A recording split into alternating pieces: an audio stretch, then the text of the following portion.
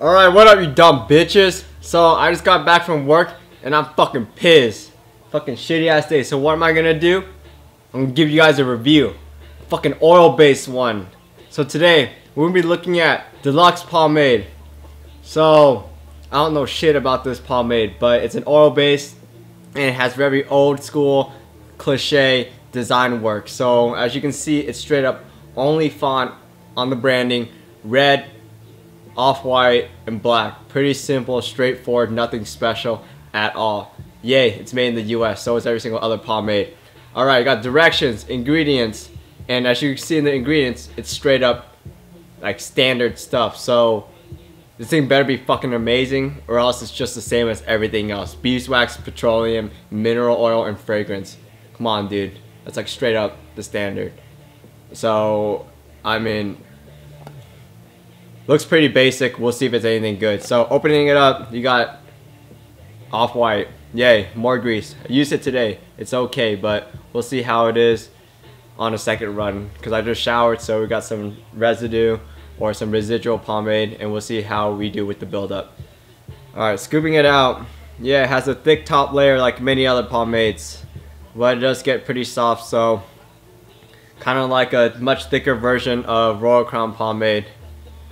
Luckily, it doesn't feel just as greasy as that, so that's a little bit better. It has like a like a watered down like detergent smell to it, and so that makes it a little refreshing. Refreshing, I mean, and also I get the feeling that they put a little bit of menthol in it, which gives it a little bit of ting, like when it touches your skin, but not much. Or rather, they just have some sort of other, like, um, invigorating, like, oil in them, or something. But yeah, I mean, it's pretty basic grease, nothing really special. Yeah, the smell is different, the packaging is different, but, like, I don't know. How, like, how many of these pomades do you think exist out there? Petroleum, beeswax, mineral oil, and fragrance.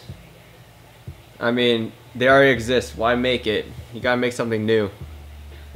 I mean, is it gonna perform its like uh, it's what it needs to do? Like, is it gonna do what it needs to do? Yeah. I mean, you can't go wrong. It's pretty basic, but why am I gonna buy a pomade that is made out of basic ingredients that will give me a basic pompadour and make me look basic?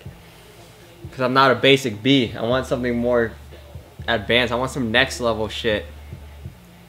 But anyways, get one more scoop in there and go ahead call it done.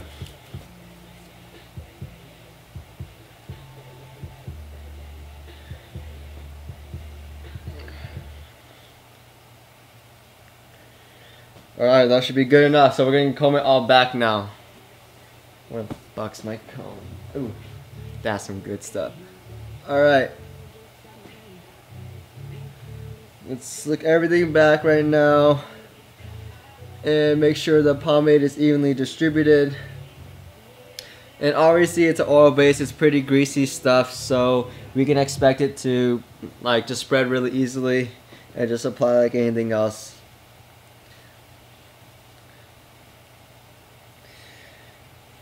It's like uh, branding does say like a what does it say? Fucking the clean and tidy look, whatever about the look I got from it, but the pomade itself is slightly little a little cleaner and a little tidier than other um, oil-based pomades from the same formula.